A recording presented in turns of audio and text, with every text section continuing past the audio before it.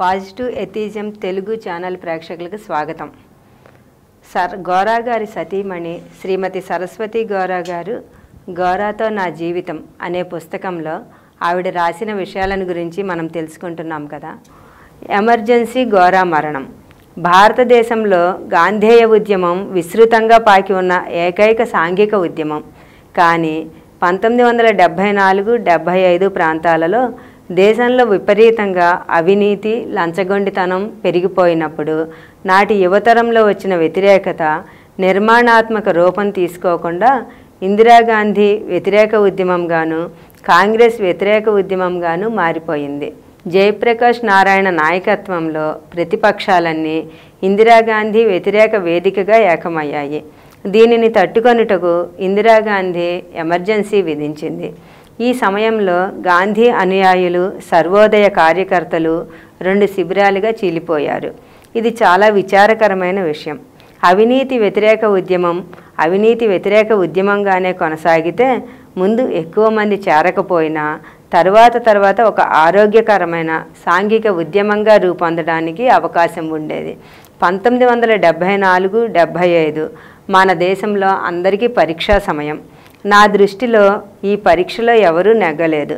సంకుచితత్వం విపరీతంగా చోటు చేసుకోవడం చేత సాంఘిక శక్తులు వీటికి బలి అయిపోయాయి. ఆ సమయంలో పార్టీ రహితంగా సాంఘిక విలువలుగా రాజకీయ ఉద్యమం కావాలంటే గోరా గారి వాదన ఎవరికీ రుచించలేదు. ఎమర్జెన్సీ సమయాన్ని ఎలా ఎదుర్కోవాలి అని గోరా గారు ఆలోచన ప్రారంభించారు. ఇందులో పంతొమ్మిది వందల డెబ్భై ఐదు జూలై ఇరవై ఆరున విజయవాడలో ఒక సభలో గ్రామాభివృద్ధి గురించి మాట్లాడుతూ గోరా గారు వాక్యం మధ్యలో హఠాత్తుగా మరణించి వాలిపోయారు.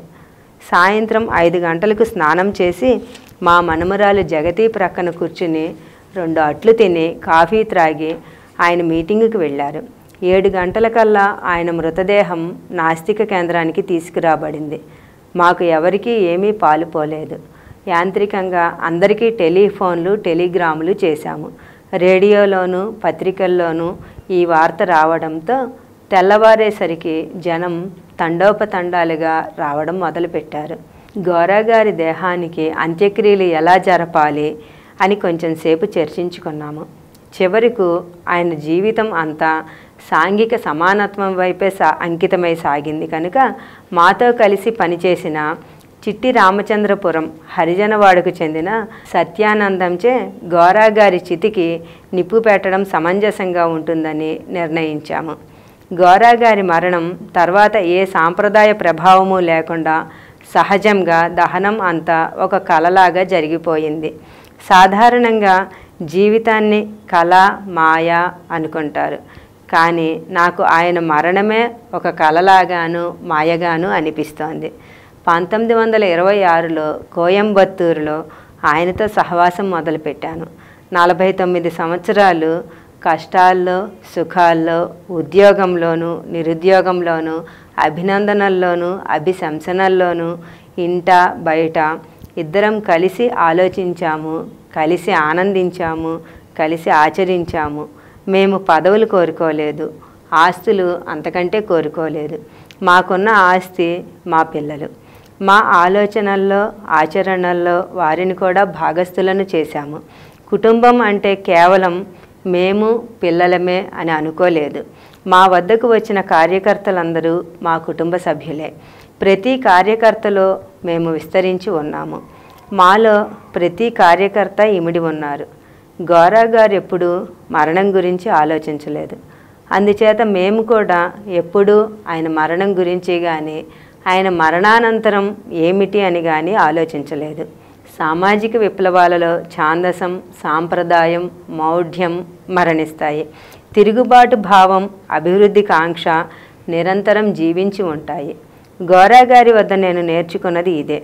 ప్రతి వ్యవస్థపై ఆయన చేసిన తిరుగుబాటు ప్రతి బానిస భావంపై ఆయన ప్రకటించిన యుద్ధం నవ సమాజ నిర్మాణానికి చాలా అవసరం. ఆ కృషిలో ఆయన నిరంతరం జీవిస్తూనే ఉన్నట్లు ఉంటుంది. నాస్తిక కేంద్రం ఆర్భాటాలు లేకుండా ఆరంభమైనట్లే ఆర్భాటాలు లేకుండానే పెరిగింది.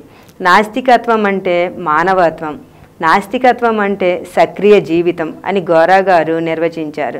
తన జీవితంలో నిరూపించారు. అందుకే ఆయన మరణానికి ఎలా అర్థం చెప్పుకోవాలో అప్పటికీ ఇప్పటికీ నాకు తెలియడం లేదు. ఆయన జీవించినది యథార్థం. అందుకే బహుశా ఆయన మరణం భ్రమ.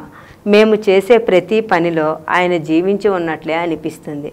ఇది ఆయన మాకిచ్చిన వారసత్వం. థ్యాంక్ యూ మరిన్ని కొత్త వీడియోల కోసం మా ఛానల్కి సబ్స్క్రైబ్ చేయండి. క్రింద ఉన్న బెల్ ఐకాన్ని యాక్టివేట్ చేయండి.